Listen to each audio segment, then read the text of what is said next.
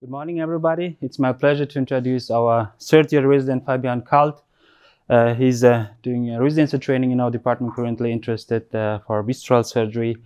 Uh, he will talk about uh, Clostridium difficile colitis today. The presentation uh, was mentored by Silvio Brugger from Department of Infection Disease. We thank him for his mentoring and he will lead discussion later. Please enjoy the talk. Thank you. Welcome to this Tuesday's resident lecture. Um, thank you, Dima, for the nice introduction and the mentoring during this presentation.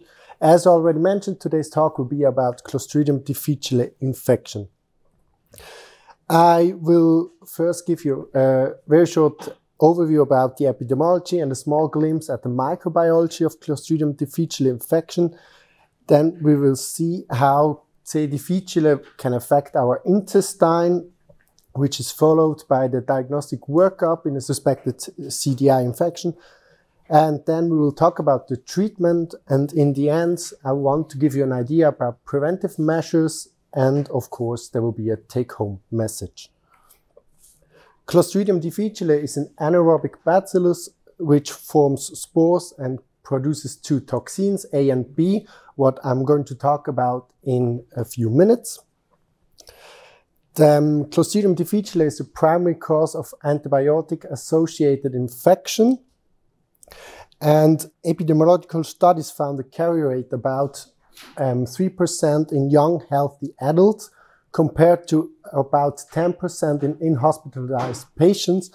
This is important as um, even asymptomatic patients serve or asymptomatic people serve as a reservoir and can be therefore the source of an infection.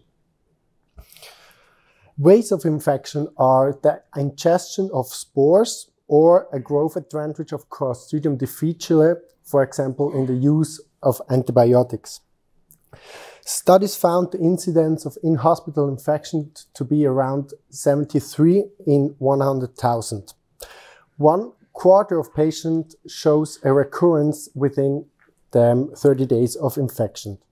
There are several identified risk factors. Can someone help me out here? So as you mentioned before, um, usually we see those kind of infections uh, in older pa patients who um, have been staying in the hospital over a longer period of time and uh, receiving broad spectrum antibiotics. Yes, exactly. Thank you. Especially risky antibiotics are fluoroquinolones, clindamycin, cephalosporins, and broad-spectrum penicillins. Clostridium difficile is usually not invasive, and there are also strains which don't produce toxins at all. There are two types of toxins, A and B, whereby toxin B is around 10 times more virulent than toxin A. The toxins disrupt the tight junctions of the mucosa, inter interact and inactivate intracellular pathways, and generate mucosal inflammation. These altogether leads to mucosal damage and ulcus formation, fluid secretion, and diarrhea. And CDI is quite a bigger problem in North America as they have more severe disease and a higher mortality, and especially they got more community acquired Clostridium difficile infection. Something we only seldom see in, uh, in Switzerland. And this is attributable to a so-called hypervirulent strain O27, which produces a binary toxin. So we all associate Clostridium difficile with diarrhea but not every patient with diarrhea has the same probability to have a Clostridium difficile infection. Suspicion should be raised if a patient has three or more loose stools within 24 hours, which should prompt entail testing for CDI. And then Clostridium difficile infection is graded in, in three grades of severity. A patient with diarrhea and lower abdominal pain, nausea, and a low-grade fever has a non-severe disease. These symptoms, together with hypovolemia, lactate acidosis, elevated creatinine, and or leukocytosis build the section of a severe disease. Patients with fulminant disease usually present in shock with ileus or megacolon. Thereby has to be mentioned that megacolon is not exclusively seen in CDI, as it is defined as non-obstructive colonic dilatation together with a systemic toxicity. Around 4.3% of patients with Clostridium infection will develop megacolon. So this is probably one of the most important and helpful slides in this presentation, and it shows the diagnostic workup in a suspected CDI. First of all, you need to collect a stool sample of the patient if you suspect an CDI. Then you test for GDH, which is an enzyme produced by toxigenic and non-toxigenic strains. And as we heard before, only the toxigenic strains can cause CDI, so you have to test for the toxin itself via immunoassay. And then, if you got an indeterminate result, the two middle boxes um, of the four, we test via PCR to clarify the result, and then we end up in one of the two boxes at the bottom. Now, if we have confirmed the CDI infection, we have to treat it, and in this table, I summarize the treatment algorithm according to our hospital guidelines here at the USZ. In the treatment of Clostridium difficile infection, it is very important to distinguish between the first episode and the recurrent episode and uh, between the different grades of severity we heard before. A first episode of non-severe disease is either treated with oral metronidazole or oral vancomycin. A severe disease of a first episode of severe disease is directly treated with oral vancomycin and in second line you can consider oral fidaxomicin. Fulminant diseases are treated with oral vancomycin in combination with intravenous metronidazole. And intravenous because of a certain delay of vancomycin to get to the colon where it has to act. Metronidazole is um, secreted biliary and into the, the colon, so it work, it acts faster there. Patients with ileus, you can consider rectal vancomycin. And also what I forgot to mention before, if a patient has an ileus and you cannot collect a stool sample, a rectal swab is also possible for the diagnosis, which also shows a high sensitivity. Then the treatment of recurrence, there is no role for metronidazole. We directly treat with vancomycin. Patients with risk factors, again, can be considered to give um. Fecal transplantation is only an option in patients with risk factor and several recurrent episodes of CDI. There is also another option which is very expensive and quite new. It's an humanized uh, antibody against toxin, toxin B, bezlotoxumab. So there was a British meta-analysis analysis published 2018 in the Lancet Infectious Diseases, and they looked into the different antibiotic treatments of CDI. They included 24 trials with over 5,300 patients, and they concluded that fidaxomicin is superior to vancomycin. And they also said that metronidazole should not be recommended as a treatment option in CDI. So they, there is a bit a a conflict, but since this, the guide, the different guidelines of the treatment of CDI have not been adapted yet. So we will see what happens in this section. Besides antibiotic treatment, there is also a role for surgery. Some studies state that around 30% of the patients with CDI will need surgery within the course of the disease. But usually surgery steps in when antibiotic treatment fails or the patient is in imminent shock. So indications for surgery are, of course, colonic perforation or um, ischemia, end organ failure, abdominal compartment, and peritonism. So there is a proposed treatment algorithm in surgery. First, you have to check for abdominal compartment. If there is one, you go directly for exploratory laparotomy and colectomy. It is important to say that segmental resection of the affected parts in the colon is not recommended. And there is another way, a bit less radical, published by a group from Pittsburgh and presented at an ASA meeting. What they did is they created a ileostomy. They flushed the colon antegrally with electrolyte solution, drained intra-abdominally, and in the in the postoperative course, they treated the patient with uh, intravenous metronidazole and daily vancomycin flushes through the ostomy.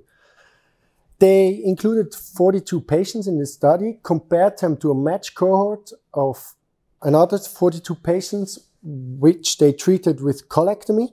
And what they found is a reduced mortality in their uh, experimental group of 19% versus 15%. But we have to say that there is no RCT which compares the different surgical treatment options in Clostridium difficile. So there is always a bit a debate. Another interesting finding is uh, the high rate of CDI infection in stoma reversal surgery.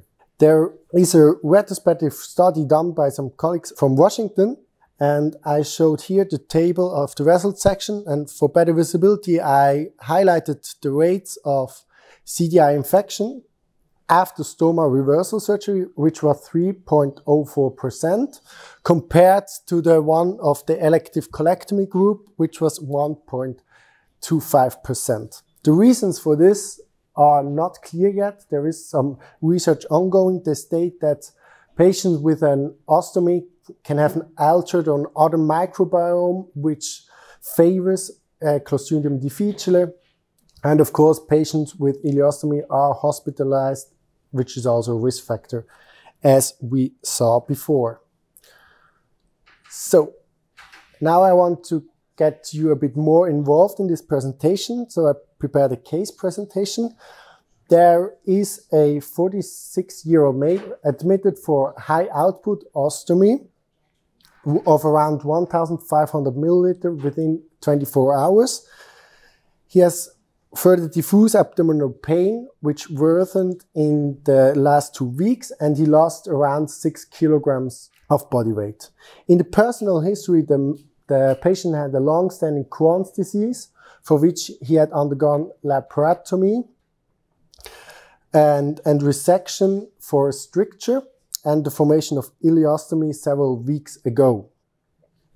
Lab test came back with a CRP of 75, um, leukocyte count of 40,000 and a creatinine of 150. The clinical examination revealed a diffuse abdominal pain on palpation without sign of peritonism. So, what diagnostic approach would you use?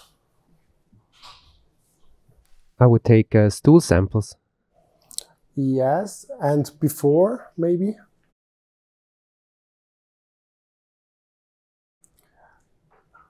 The the patient was had surgery several weeks ago, so I would take a CT scan to exclude some complications like intra-abdominal fluid collection or something else. But stool sample is a good idea. They came back negative for parasites and bacteria. But as you remember today's lecture, you also ordered a GDH and immunoassay, which are both positive. And something else we have to watch out for in this patient before we start the treatment? Maybe we should do an endoscopy to rule out the active Crohn's disease. Yes, exactly. And endoscopic, the endoscopy didn't show any active Crohn's disease. So, what treatment would you choose? A, B, C, or D? I would say he needs antibiotics with vancomycin and rehydration. Yes. Since we didn't heard that he had an other Clostridium infection before, we will start with vancomycin and rehydration.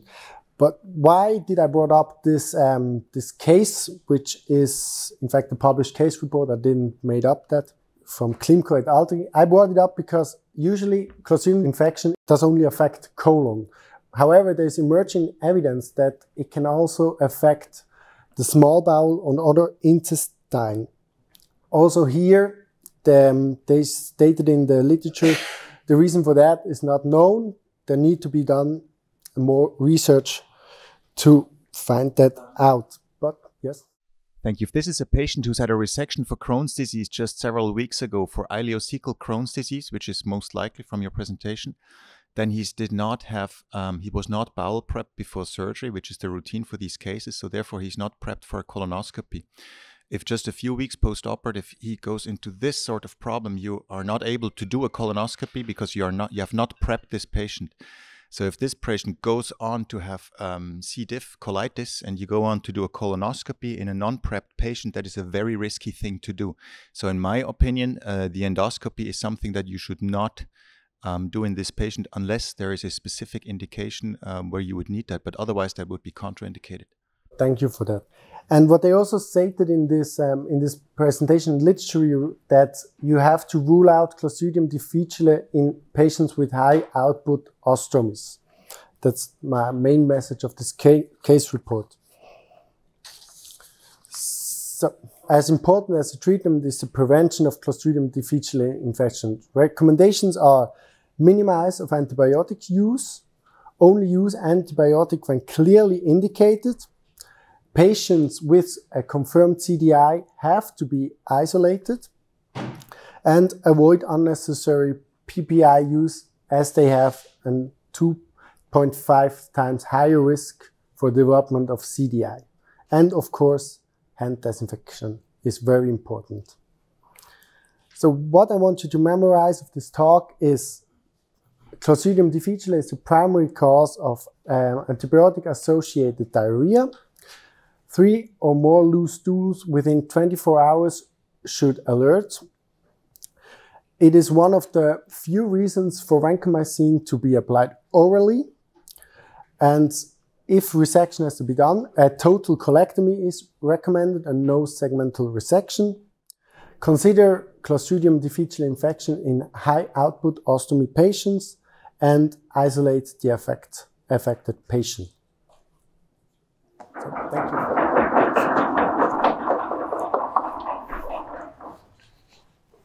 Thank you, Fabian, for this comprehensive introduction. The stage is open for discussion. I know it's a little annoying, this topic, also for us, but still it's a major problem.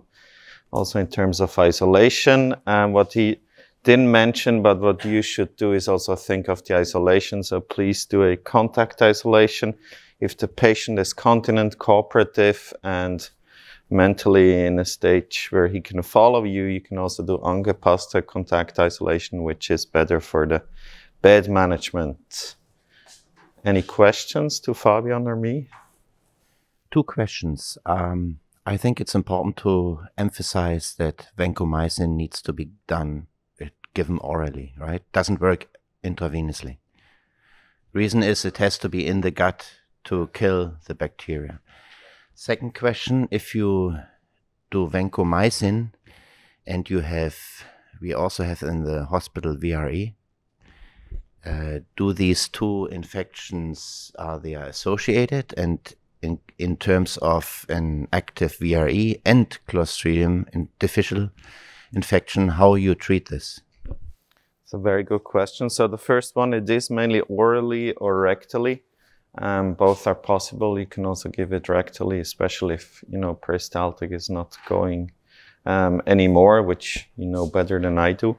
For the VRE, um, this is a problem indeed because it's selection pressure. But with us, we never had an association between C. diff and VRE outbreaks so far. Um, we don't have that many um, C. diff cases, especially in the last uh, months. We didn't have that many, but there was certainly, as far as we can tell, no correlation between that. The treatment still usually C. diff is the major problem, so you go ahead. You can choose fidaxomicin, which makes less selection pressure on enterococci. The other way is change to an enterococcus active regimen without, um, you know, selection pressure, or at least not very much demonstrated selection pressure, such as daptomycin, which, you know, has other problems, but this certainly works in those cases very well. Yeah. And the metronidazole, if I might add, I know this is against all the international guidelines, against um, ESCMID guidelines, against IDSA guidelines. I have to say here we don't have that many um, severe cases as far as we overview Switzerland. That's why we haven't changed it. But it might come that we will remove the metronidazole as a first-line treatment in the next years. Um, it's not planned, but it will probably change and be adapted to international guidelines. If I may just uh, also another question, what's the kind of like point on evidence on starting treatment before you have actually the definitive diagnosis? We were just faced this weekend again um, on the ICU, a gastroenterological patient, CRP 500, procalcitonin 50. Um, he hasn't passed stool, so I also want to say I think sometimes the stool, like the diarrhea, is not a very good sign. And um, so he was quite sick, and um, I think we discussed there also with the ICU people to actually start vancomycin um, orally before we had the diagnosis, which was confirmed in his case I mean, probably not very um, good from an infectiological point of view to start a treatment before we have a diagnosis, but how should we? Yes, I mean, no one else is here besides me, so it's okay. No, um, it is true in certain cases, especially with diagnostics that can take a long time here. Um, I think in those cases, severely ill patients, um, you know, diagnostics is difficult anyway because maybe megacolon or no passage. I think it's feasible to start um, the treatment because early treatment is usually better than late treatment also in C. diff colitis. So I think it's totally reasonable to do that in cases where people are really critically ill. On the ward, if someone has loose stool, doesn't have, you know, too much of inflammation or dehydration, I think you wait. But in such cases, as you described, it's totally um, appropriate to start. I just have uh, two comments to make. Uh, nice talk. Thank you very much. First of all, you said that one third of patients with uh, C. diff colitis will undergo surgery. I think that number is way too high. That must have been one third of patients probably with severe um, C. diff colitis. Otherwise. Yes, and certainly not in our patient population. The North American ones, they have this ribotype 027, which is much more aggressive, so their rate is high, but certainly not in Switzerland. Yes, you're correct. And the second point is, um, you said you mentioned that a high output ostomy should lead to the suspicion of a diagnosis of C. difficile colitis. And I think one must consider what type of ostomy we have. We see a lot of high output ileostomies, but that typically has nothing to do with C. diff colitis. So um, we're speaking about colostomies, a high output colostomy in a patient that is um, uh, on inpatient treatment that triggers the suspicion of C. diff colitis, but not a high output ileostomy. You're right. The Ileostomy cases are really rare. They exist. Um, this is a dogma that was thrown over some years ago that you have infection also despite the tropism for the colon that C. diff toxins have. But there are cases of the small intestine, yes. But it's certainly not the, the classical presentation. Thank you very much.